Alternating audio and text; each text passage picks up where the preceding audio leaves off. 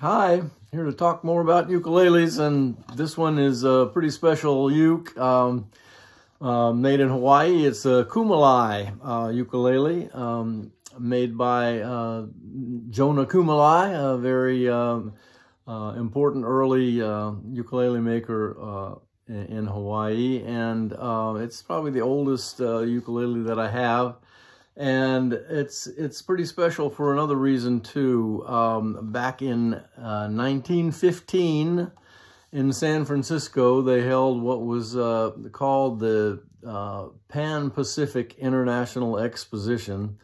Um, sometimes it's referred to as the Pan American Exposition, but it was actually the Pan Pacific International Exposition, a kind of World's Fair like uh, arrangement in uh, in San Francisco where uh, folks from uh, nations and territories and islands and things uh, uh came to show off their uh, cultures, including uh, including music. And this this ukulele or the Kumalae ukulele won the gold medal uh, for instrument making. Uh, all kinds of instruments uh, were in the competition, but uh, this one won uh, the, the gold medal for instrument making at, at that exposition and got pretty famous for doing that. And they quickly incorporated uh, that fact into their into their logo, as you may be able to see on the headstock.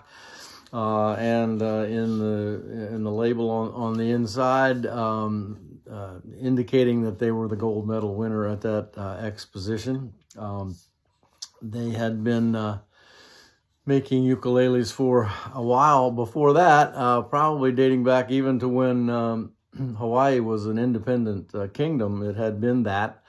Um, uh, up until I think 1897, when in a controversial, to say the least, uh, sort of coup with uh, business U.S. business interests uh, deposing the then uh, Queen uh, Liliuokalani, um, and Hawaii became a territory of, of the United States. Um, but uh, the logo uh, for the Kumalae ukulele still used the uh, sort of royal uh, Hawaiian uh, coat of arms uh, in their in their logo. so, um, but they they, they, as I say, they quickly incorporated the gold medal. this is this particular ukulele is is probably shortly after that because it's still uh, utilizes, as you can see, the straight friction uh, tuning pegs, not uh, not the sort of machine head uh, tuners uh, that came along later. Um, but um, but that exposition and Hawaii winning that gold medal uh, really was a, a, significant contributing factor to the sort of heyday of the ukulele. in the United States um, into the into the 1920s.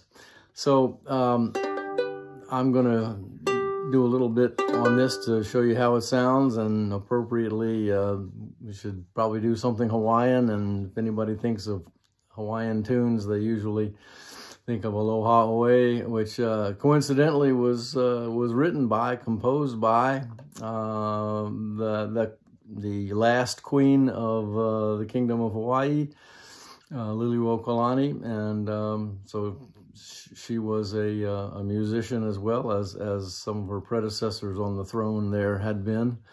Um, and uh, and uh, composed uh, that song, which is kind of a, a, signature song for the island of Hawaii. So uh, let's see kind of what what this sounds like.